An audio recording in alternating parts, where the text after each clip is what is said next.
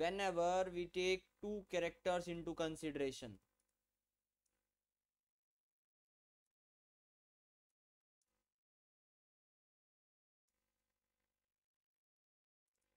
जो भी ये दो कैरेक्टर कंसीडर किए जाते हैं, ये दोनों के दोनों कैरेक्टर्स क्या हैं? सबसे बिल्कुल फ़र्स्ट कैरेक्टर है इसमें सीड कलर अब सीड कलर का क्या वेरिएंट क्या है? सीड कलर में जो डोमिनेंट वेरिएंट है और जो रिसेसिव है, डोमिनेंट है येलो और रिसेसिव क्या है ग्रीन। दूसरा इसमें आती है शीड की shape. So this seed shape have further two conditions one is of dominant second is of recessive तो ये जो सीड शेप है, इसमें फुल और you can say round is the dominant condition second we have is of recessive condition तो recessive इसमें क्या रहती है? दैट इज़ रिंकल्ड अब जो रिसेसिव कंडीशन है, ये रिंकल्ड और राउंड का जो भी जो भी कॉन्सेप्ट है, ये अच्छे तरीके से याद है। सेजल गुड इवनिंग सेजल ये कॉन्सेप्ट याद है ना तुम्हें? रिंकल्ड का और ये सॉरी डोमिनेंट का और रिसेसिव का। डोमिनेंट में प्रोटीन बनता है, करेक्टर मिलता है। रिसेसिव में प्रोटीन नहीं बन पाता तो फुल करेक्टर हमें नहीं मिलता। ठीक है? क्लियर है? अब यहाँ पे जो सीड कलर है, उसमें डोमिनेंट येलो तो इसके लिए डोमिनेंट का मतलब इधर हम फ़िलहाल पढ़ रहे हैं प्योर लाइन से। ठीक है? तो प्योर लाइन डोमिनेंट मतलब capital Y and capital Y. Pure line recessive मतलब small Y and small Y दूसरा सीड शेप की अगर हम बात करें तो राउंड के लिए यूज़ किया गया इस यहाँ पर R which is pure line round और दूसरा यूज़ किया गया small R small R which is wrinkled clear है? अब, ये सीड कलर और सीड शेप तो एक कोई भी प्लांट सबसे पहले याद है आप जो जो मेंडल ने काम किया था, वो तीन स्टेप में खत्म होता है। और वो तीन स्टेप कौन कौन से हैं? सबसे पहला स्टेप है उसमें प्योर लाइन फॉर्मेशन यानी मेंडल ने करवाई प्योर लाइन फॉर्मेशन और प्योर लाइन फॉर्मेशन सबसे पहला dominant parent so dominant parent क्या रहेगा? दो एलील्स उसके अंदर येलो के और दो एलील्स उसके अंदर राउंड के। All of these four are in dominant condition ठीक है? तो इसको हम एनसीआरटी में लिखा हो वैसे लिख लेते हैं this is round and yellow दूसरी कंडीशन आपके पास रिसेसिव पेरेंट की। यहाँ पे small Y small Y small R small R या जो एनसीआरटी में दिया हुआ है, वो देख लेते हैं। Small R and small Y so this condition is of dominant and second we have is of recessive so ये जो कंडीशन है डोमिनेंट एंड रिसेसिव की, ये बन जाती है यहाँ से प्योर लाइन अब, बिल्कुल पहला parental cross what is parental cross तो जो भी ये प्योर लाइन बनाई गई है, इनके बीच का क्रॉस होगा। उसे क्या बोलेंगे? Parental cross. अब मुझे फटाफट से एक बात बताओ कि लॉ ऑफ़ जो सेग्रीगेशन है, उसमें डोमिनेंट पेरेंट और रिसेसिव पेरेंट के गैमीट्स कैसे बनेंगे? चलो बताओ।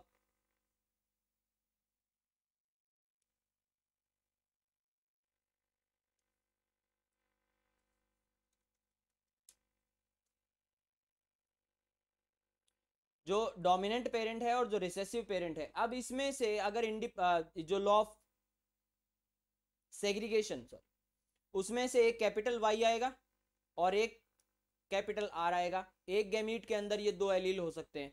इसके अलावा कोई पॉसिबिलिटी नहीं है।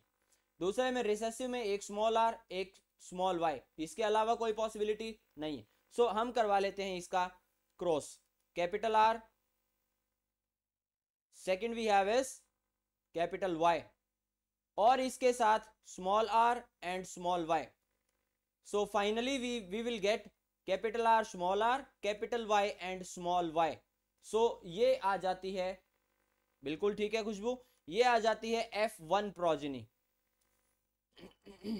this is F one progeny और एफ़ वन प्रोजनी के पास सिर्फ़ और सिर्फ़ क्या प्रेजेंट है?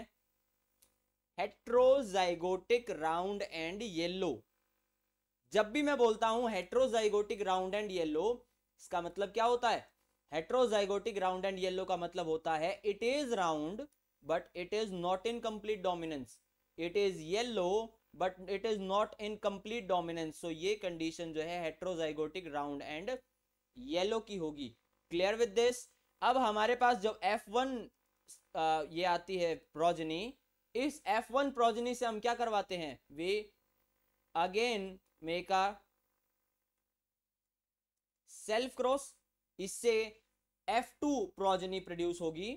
तो देखिए F2 प्रोजनी का क्या कंडीशन रहेगा?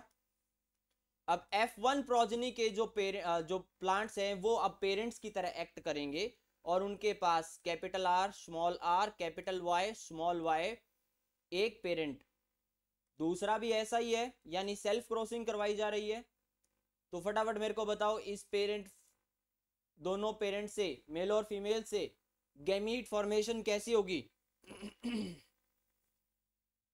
देयर विल बी कितने टाइप के गैमीट्स बनेंगे? How many types of gamete will be there come on come on come on how many types of gamete will be there कितने टाइप के gamete बनेंगे? Gamete formation कितने type की होगी बच्चों? जल्दी बता दो, फटाफट से मेरे को आंसर चाहिए, सबसे आंसर चाहिए कि गैमीट फॉर्मेशन कितने टाइप की होगी?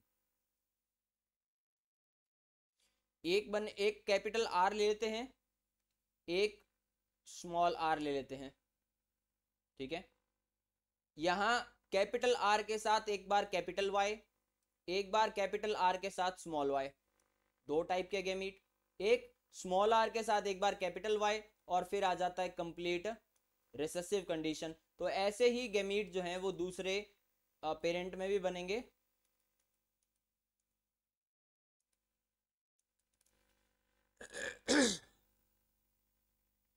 क्लियर सो so, ये जो कंडीशन है ये आ गई है अब गैमीट फॉर्मेशन की। अब ये गैमीट फॉर्मेशन जो हुई है ये कौन सा क्रॉस यानी कौन सी प्रोजेनी प्रोड्यूस होगी? इससे जो नेक्स्ट प्रोजेनी प्रोड्यूस होगी वो होगी एफ़ टू बिल्कुल ठीक Khushboo. Capital R capital Y small R small Y capital बिल्कुल ठीक है। जो नेक्स्ट प्रोजेनी प्रोड्यूस होगी। अब इनके बीच में करवाते हैं हम क्रॉस जिसको बोलते हैं क्या? Parental cross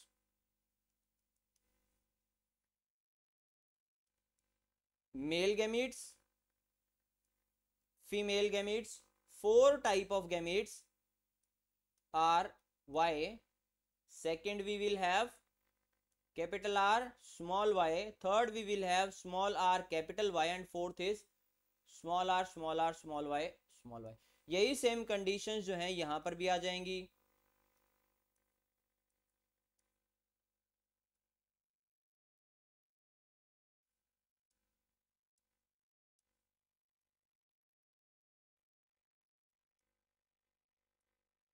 ठीक है?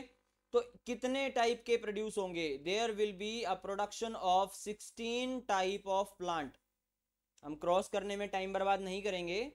16 अलग अलग तरीके के यहाँ पे क्या प्रोड्यूस होने वाले हैं? 16 डिफरेंट टाइप ऑफ़ प्लांट्स और अगर मैं एक आध एक आपको करके भी दिखा देता हूँ this plant will have capital R capital R capital Y capital Y the second plant will have capital R capital R capital Y and small Y ठीक है? नेक्स्ट का बताओ।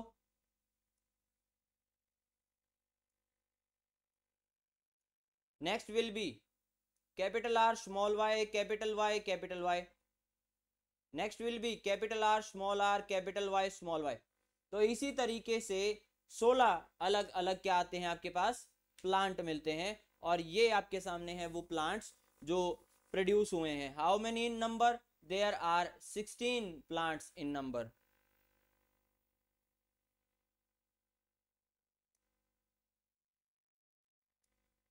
ठीक है?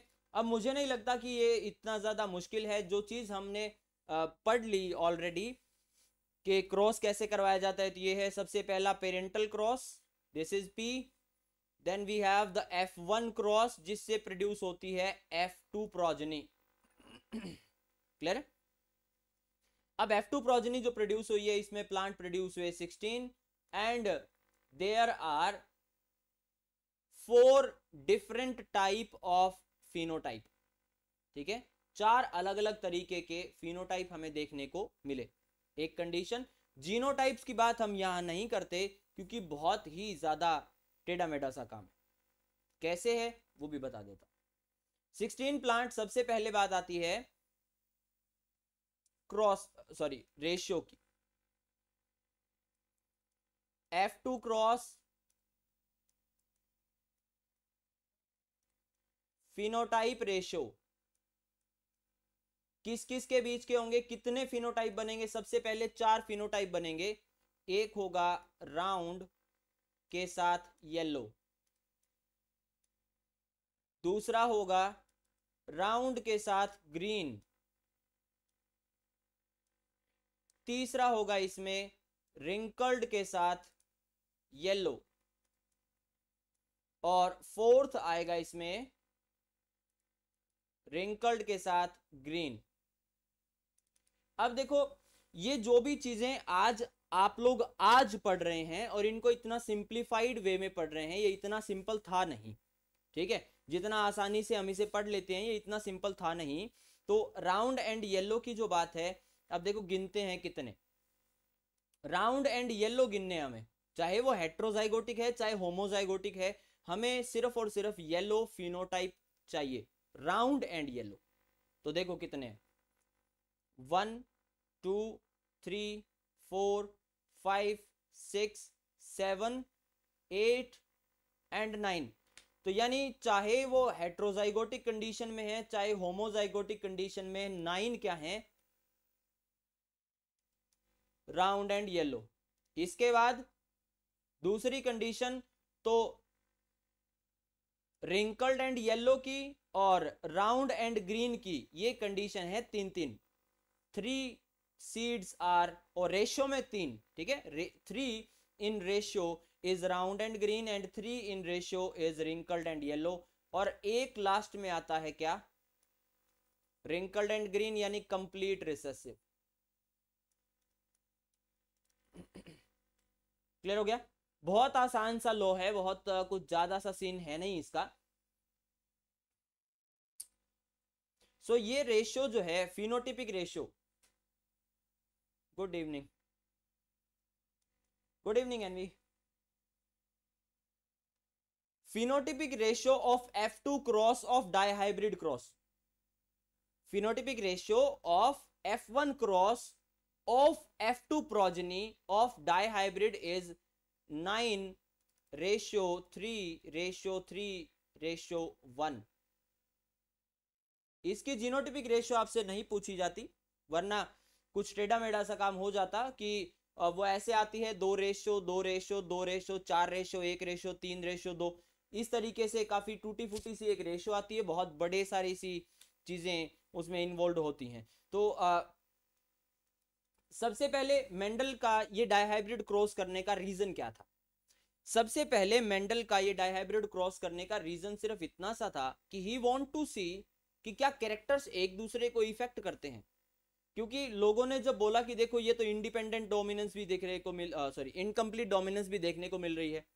यहाँ तो हमें कैरेक्टर की ब्लेंडिंग भी देखने को मिल रही है। तो मेंडल ने सिर्फ़ ये प्रूव करने के लिए और सेल्फ प्रूफ के लिए कि मैं मतलब जो काम कर रहा हूँ, वो मेरी अंडरस्टैंडिंग जो है वो ठीक है। इसलिए उसने ये क्रॉस करवाया था और फिर उसके बाद उसने ये प्रूव करने की कोशिश करी थी कि कैरेक्टर्स जो है, वो एक दूसरे के साथ ब्लेंड नहीं होते। ठीक है? कैरेक्टर एक दूसरे के साथ ब्लेंड नहीं होते। और कैरेक्टर ब्लेंड ना होने का मतलब क्या है? देखो, यहाँ पर चार चीज़ें हैं, चार कैरेक्टर हैं। एक येलो है, एक राउंड है, एक ग्रीन है, एक रिंकल्ड है। There are four different characters ठीक है? चार डिफरेंट कैरेक्टर्स हैं यहाँ पे। चारों के चारों डिफरेंट कैरेक्टर्स अगर एक दूसरे के साथ किसी तरीके से जुड़े होते, यानी जहाँ पर राउंड येलो सीड बनता है, वो ऑलवेज राउंड होगा। ऐसा तो कोई पॉसिबल नहीं है ना। ये आज के टाइम पे हमें पता है। मेंडल को नहीं पता था तो उसने ये देखा कि क्या कैरेक्टर जो है वो आपस में एक दूसरे को भी लेकर चलते हैं क्या? जैसे येलो कलर का सीड जो होगा, वो ऑलवेज राउंड होगा। जो रिंकल्ड सीड होगा वो ऑलवेज रिंकल्ड ग्रीन होगा। ऐसी पॉसिबिलिटीज को लाइन uh, आउट करने के लिए ऐसी पॉसिबिलिटीज को स्केल आउट करने के लिए मेंडल ने ये क्रॉस करवाया था। और मेंडल ने इसी पे बेस्ड लॉ दिया था that law was law of independent assortment और law of independent assortment assortment में मेंडल ने बोला क्या था? Mendel said whenever two characters are considered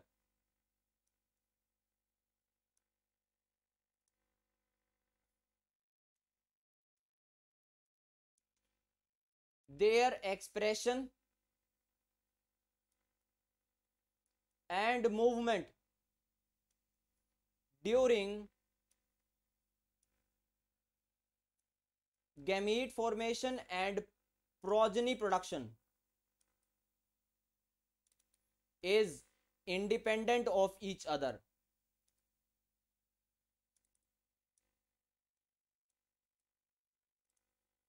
ये एक दूसरे से क्या है?